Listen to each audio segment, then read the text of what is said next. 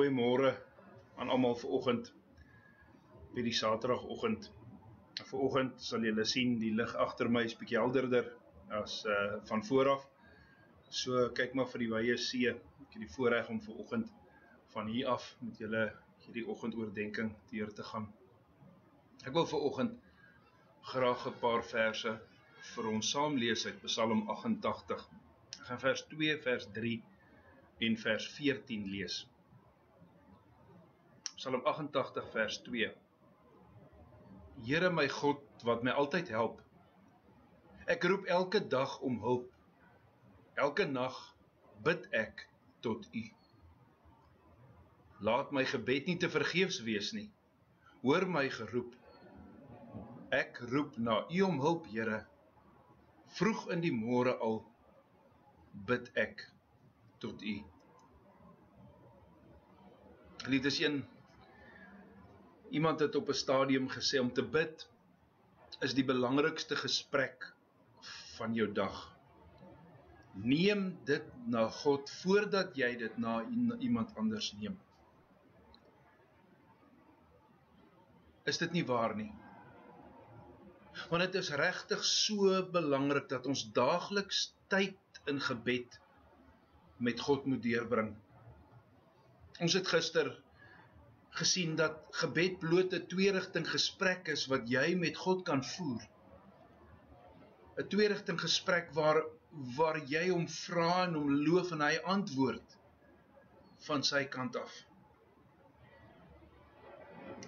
Dit kom daarop neer dat jy onder andere tyd aan die Here moet wy terwyl jy net gesels, maar ook terwyl jy luister. En ook terwyl jy vra vra. En ook terwyl jy hom dank.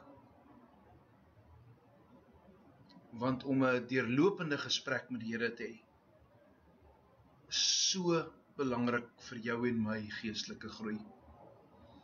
As ons na die evangelie toe gaan, al vier evangelies, dan weet ons almal hoe dat Jesus Christus, die seun van God, gereeld tyd afgestaan het om tot God te bid. Ons lees gereeld dat hy dat hy alleen weggegaan het om te om te gaan bid. Hy het gebid toe hy alleen was. Hy het gebid toe hy by ander was, tussen ander was. Hy het gebid voordat hy iemand genees het. Hy het gebid nadat hy iemand genees het. Hy het voor maaltye gebid na maaltye dankgebed gedoen. Hy het gebid voor elke belangrike besluit. Hy het gebid soggens hier waar jy en ek vanmôre is met die sonsopkoms. En hy het gebid saans.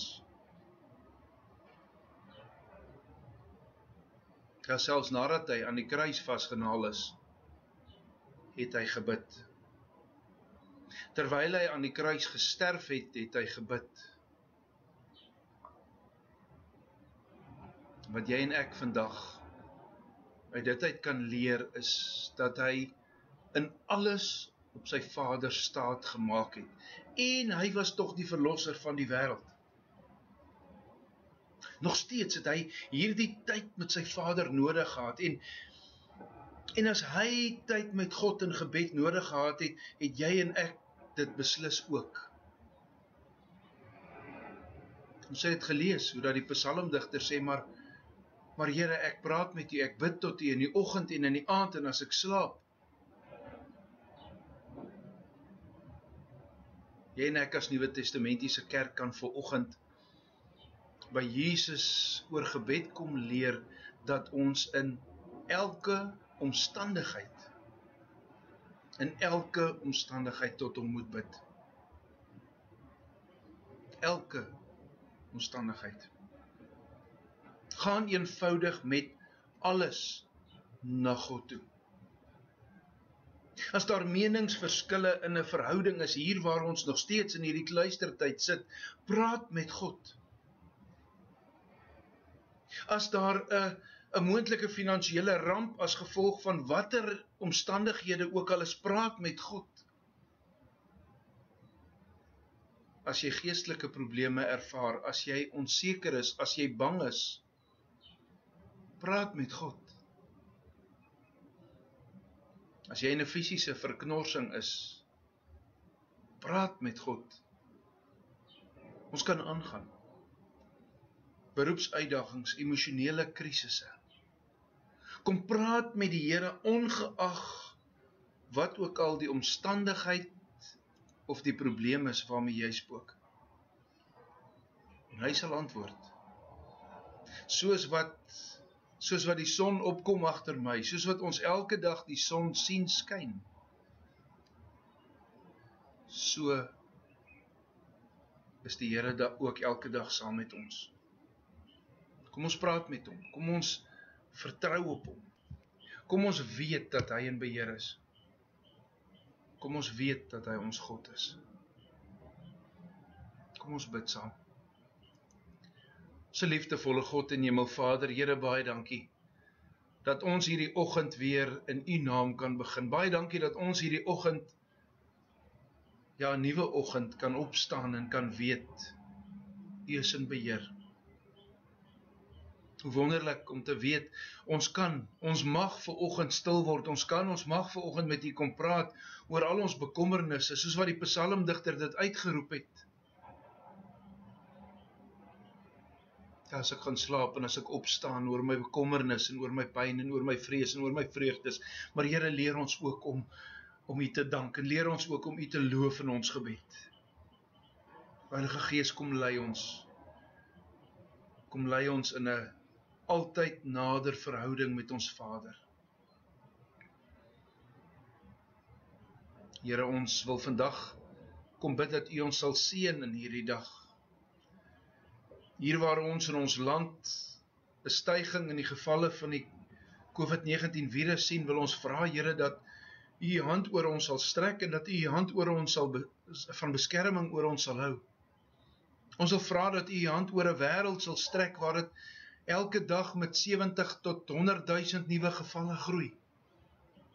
Vir ons as mense is dit skrikwekkend, Here, dit dit maak ons bang. Maar ons weet ons kan voor voor U kom sit. Ons kan aan U voete sit en en daar is ons veilig. Seën ons daarom, Here. Seën ons in hierdie dag. En gee dat ons dat ons op U sal vertrou en U sal vashou. Dat ons sal weet ons God is 'n lewende God. Ons God is die God van hemel en aarde. Dat ons weet waar ons ook al vandag is uithoeke van Suid-Afrika, die grense van ons land, uithoeke van die wêreld. U hoor elkeen van ons se gebed. Amen. Liefdes, ons gaan saam sing Psalm 34 vers 1 en 2 waar ons in vers 2 kom bely hoe dat die Here ons in gebed ons ons gebede verhoor.